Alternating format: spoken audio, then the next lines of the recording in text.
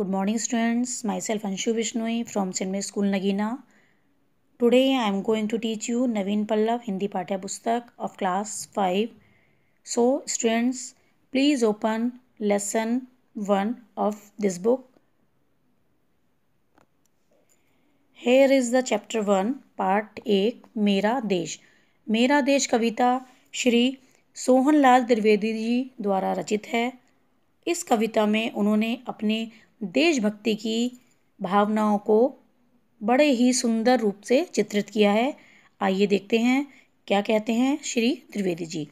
ऊँचा खड़ा हिमालय आकाश चूमता है, नीचे पखार पग तल नित सिंधु झूमता है, गंगा पवित्र यमुना, नदियाँ लहर रही हैं पल पल नई छटाएँ पग पग छहर रही हैं, वह पुण्य भूमि मेरी, वह जन्म भूमि मेरी, वह स्वर्ण भूमि मेरी, वह मातृभूमि मेरी। इन कविताओं के माध्यम से श्री सोहनलाल द्विवेदी जी कहते हैं, उत्तर दिशा में हिमालय पर्वत स्थित है, जिसकी ऊँची चोटियाँ आकाश का स्पर्श करती हुई दिखाई देती हैं। विश्व का सबसे ऊँचा पर्वत भारत के गौरव का प्रतीक है और इसी देश के दक्षिण में मानो हिंद महासागर भारत माँ के चरणों को धोता हुआ झूम रहा है। प्रसन्न हो रहा है। और इसी देश में गंगा, यमुना और सरस्वती जैसी पवित्र नदियों का अनोखा संगम है, जिसका अद्भुत सौंदर्य चारों ओर दिखाई देता है। नदियों के पवित्र जल से सिंचित भारत की धरती हरी भरी और सुंदर दिखाई देती है। इस प्रकार यह धरती पवित्र है और साथ साथ भांति भांति के खनिज पदार्थों औषधि वनस्पतियों से संपन्न है।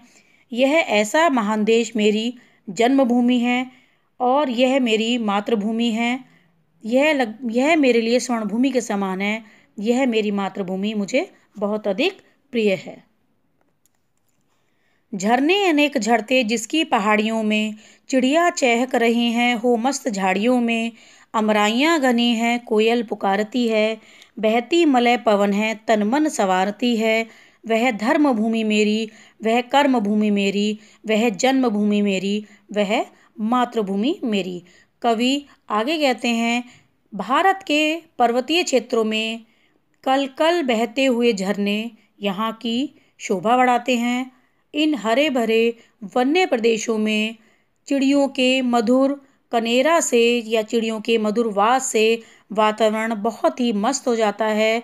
आम के घने बगीचों में बसंत ऋतु के आने पर कोयल पुकारती है। कोयल अपने मधुर स्वर में बोलती है, भारत के दक्षिण में स्थित हिमालय पर्वत से बहने वाली शीतल पवन, तन और मन दोनों को एक नई स्फूर्ति और लगभग नया प्राण ही फूंक देती है और वह हवा प्राणियों को तन, मन को स्फूर्ति और ताजगी से भर देती है। यहाँ वह मेरी धर्म भूमि है, यह मेरी कर्म भूमि भी है, यह मेरी जन्मभूमि है और यह मेरी मातृभूमि है। जन्मे जहाँ थे रघुपति, जन्मे जहाँ थी सीता श्री कृष्ण ने सुनाई वंशी पुनीत गीता, गौतम ने जन्म लेकर जिसका सुयश बढ़ाया, जग को दया दिखाई, जग को दिया दिखाया। वह युद्ध भूमि मेरी, वह बुद्ध भूमि मेरी, वह जन्म भूमि मेरी, वह मातृभूमि मेरी। अर्थात आगे बढ़ते हुए कवि कहते हैं कि यह धरती वीर महापुरुषों को जन्म देने वाली है। इसी देश के रघुकुल में श्री राम का जन्म हुआ, जो मर्यादा पुरुषोत्तम हैं। उनका जीवन चरित्र सर्वोच्च जीवन मूल्यों को दर्शाता है। यहाँ सीता जैसी पतिव्रता व धार्मिक स्त्रियों ने जन्म लिया तथा द्वापर युग में श्री कृष्ण ने जन्म लिया, जिन्होंने महाभारत के युद्ध में गीता का उपदेश दिया। यहीं पर बौद्ध धर्म के संस्थापक गौतम बुद्ध ने प्रेम और अहिंसा और अहिंसा की शिक्षा देकर मानव जीवन को एक नई गति प्रदान की तथा मोह माया छोड़कर ज्ञान मार्ग पर चलने का संदेश दिया। इस प्रकार कवि कहते हैं कि यह भारत भूमि मेरी जन्मभूमि भी है और मेरी युद्ध भूमि भी है। यह मेरे बुद्ध की भूमि है, जो मुझे अहिंसा का मार्ग दिखाती है, शांति का मार्ग दिखाती है तथा धर्म और न्याय की रक्षा करने का संदेश देती है। इस प्रकार यह मेरी मातृभूमि बहुत ही पावन और पवित्र है। Now just open page number ten. Page number ten पर अभ्यास या एक्सरसाइजेज दी हुई हैं। आइए देखें, देखते हैं सबसे पहले क्या दिया हुआ है। सबसे पहले शब्द मैत्री दी हुई है। शब्द मैत्री मीन्स वर्ड मीनिंग या शब्द अर्थ आइए पढ़ते हैं। पखारना, धोना, पग, पैर नित, रोज, सिंधु, समुद्र, पुण्य, पवित्र, मलय, चंदन, पुनीत, पवित्र, जग, संसार। ये जो ब्लू कलर से दिए हैं शब्द हैं और ब्लैक कलर से इनके अर्थ दिए हुए हैं, इन्हीं इन सभी शब्द अर्थ को आप याद करेंगे, बहुत अच्छी तरीके से इसको याद कर लेंगे। नेक्स्ट एक्सरसाइज, क्या सीखा, क्या जाना। इस एक्सरसाइज में कै पार्ट में इसके, इसमें क्वेश्चन आंसर दिए हुए हैं। इन प्रश्नों के आपको उत्तर लिखने हैं। यहाँ पर ये प्रश्न दिए हुए हैं, हिमालय क्या करता है? हिमालय क्या करता है? अभी हमने पार्ट में पढ़ा था, हिमालय आकाश को स्पर्श करता हुआ प्रतीत होता है। सेकंड क्वेश्चन कौन कौन सी नदियाँ लहर रही हैं? गंगा, यमुना तथा सरस्वती आदि नदियाँ लहर रही हैं। थर्ड क्वेश्चन कविता में भूमि के लिए कौन कौन से विशेषण दिए गए हैं? कविता में भूमि के लिए पुण्य भूमि जन्मभूमि स्वर्ण भूमि तथा मातृभूमि आदि विशेषण दिए गए हैं।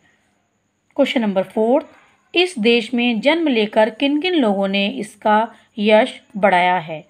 इस देश में राम, सीता श्री कृष्ण तथा गौतम बुद्ध आदि ने जन्म लेकर इसका यश बढ़ाया है। Now see the question number five Gautam Buddha ने संसार को क्या दिया? गौतम बुद्ध ने संसार को दया सिखाई और ज्ञान के मार्ग पर चलने का संदेश दिया या ज्ञान के मार्ग पर चलने की शिक्षा दी। Now see the next exercise exercise ख दी गई पंक्तियों का संदर्भ सहित अर्थ लिखिए। ये एक्सरसाइज आपको होमवर्क में अपने आप करनी है। मैंने आपको चैप्टर समझाया। उसी चैप्टर में से जो भी मैंने आपको उसका भावार्थ समझाया है, उसी के आधार पर आपको इन सभी चार लाइनों का अर्थ यहाँ पर लिखना है। Now students see the page number eleven व्याकरण बोध। व्याकरण बोध में हम देखेंगे एक्सरसाइज कै में दिया हुआ है? दी गई क्रियाओं को उदाहरण के अनुसार तीनों कालों में लिखिए। चूमना, चूमता है, चूमा, चूमेगा। इसी प्रकार, सवारना सवारना संवारता है, संवारा, संवारेगा, गाना, गाता है, गाया, गाएगा। दिखाना, दिखाता है, दिखाया, दिखाएगा। सुनाना, सुनाता है, सुनाया, सुनाएगा। बढ़ाना, बढ़ाता है, बढ़ाया और बढ़ाएगा। इस प्रकार से भाषा के तीनों कालों में, वर्तमान में, भूतकाल में और भविष्यकाल में हम इन सभी क्रियाओं को लिखेंगे। Now see the next exercise exercise है? समानार्थी शब्द लिखिए। समानार्थी शब्द को हम प्रैवच शब्द भी कहते हैं। मात्र मात्र मीन्स माँ। स्वर्ण। स्वर्ण मीन्स सोना। सिंधु। सिंधु मीन्स सागर या समुद्र भी इसको लिख सकते हैं। आकाश, गगन, नभ, कुछ भी आप यहाँ पर लिख सकते हैं। भूमि, धरती, भू, धरा। कुछ भी आप लिख सकते हैं। ये मैंने आपको फॉर एग्ज़ाम्पल ये मैंने आपको लिख के दिखाए हैं। इनके अतिरिक्त भी यदि आप लिखना चाहें तो आप आगे लिख सकते हैं। Now see the next exercise exercise गए सुनने में समान लगने वाले निम्नलिखित शब्दों के अर्थ स्पष्ट कीजिए। सुनने में समान लगने वाले शब्दों को हम श्रुति सम भिन्नार्थक शब्द भी कहते हैं, जो कि सुनने में समान लगते हैं, लेकिन इनके अर्थ अलग अलग होते हैं। आइए किस प्रकार से इसको दिया हुआ है? सुना। सुना मीन्स कानों से सुनना और सूना। सूना, देखिए यहाँ पर छोटे की मात्रा है और यहाँ पर बड़े की मात्रा है। बड़े की मात्रा से बना है सूना सूना मीन्स खाली। नेक्स्ट देखेंगे कल। कल मीन्स आने वाला कल या बीता हुआ कल। आने वाला दिन या बीता हुआ दिन। और इसी के साथ दिया हुआ है काल। काल का अर्थ है समय या मृत्यु। नेक्स्ट आप देखेंगे बुद्ध। बुद्ध, गौतम बुद्ध को हम बुद्ध कहते हैं और बद्ध बद्ध मीन्स किसी भी तरह से बंधा हुआ, किसी भी तरह से बंधे हुए को हम बद्ध कहते हैं। नेक्स्ट पेज पर आप देखेंगे, इसी क्वेश्चन का फोर्थ पार्ट दिया हुआ है, जग जग मीन्स संसार और जाग जाग मीन्स नींद से उठना।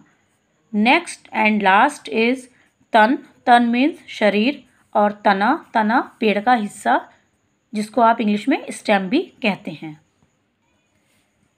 आइए अब देखते हैं नेक्स्ट एक्सरसाइज सोच विचार। सोच विचार में यहाँ पर मौखिक उत्तर देने हैं। देखिए क्वेश्चन नंबर फ़र्स्ट है। सीता के पिता का नाम बताइए। सीता के पिता का नाम राजा Janak. Question number two Shri Krishna ने गीता का उपदेश किसे दिया था? श्री कृष्ण ने गीता का उपदेश अर्जुन को दिया था। Question number third Gautam Buddha के पुत्र का क्या नाम था? गौतम बुद्ध के पुत्र का नाम राहुल था। और प्रयाग में किन किन नदियों का संगम है? तो प्रयाग में गंगा, यमुना तथा सरस्वती आदि नदियों का संगम है। अब page number twelve, last exercise देखेंगे आप खेल खेल में। सुमेलित कीजिए, इसमें कुछ धर्मों के चिन्ह दिए हुए हैं, इनको आपको इन धर्मों के नाम से मिलाना है। देखेंगे बौद्ध धर्म। बौद्ध धर्म का चिन्ह है ये। यहाँ से आप इसको मिलाएँगे। आप सेकंड नंबर पर दिया हुआ है सिख धर्म। सिख धर्म को आप सिख धर्म के चिन्ह से मिलाएँगे। इस्लाम धर्म। इस्लाम धर्म का चिन्ह यहाँ पर दिया हुआ है। ये इसको आप इससे मैच करेंगे। उसके बाद देखेंगे हिंदू धर्म। हिंदू धर्म को आप ओम से मिलाएँगे। यहाँ पर ओम दिया हुआ है और ये दिया हुआ है ईसाई धर्म। ईसाई धर्म को आप इस क्रॉस से मिला देंगे। इस प्रकार ये पार्ट पूरा हो गया है। अब सभी बच्चे इस पाठ को अपनी अपनी बुक में लिखेंगे अपनी अपनी किताब में लिख लेंगे और साथ ही साथ अलग से कॉपी बनाकर आप इसका लिखित में अभ्यास भी करेंगे।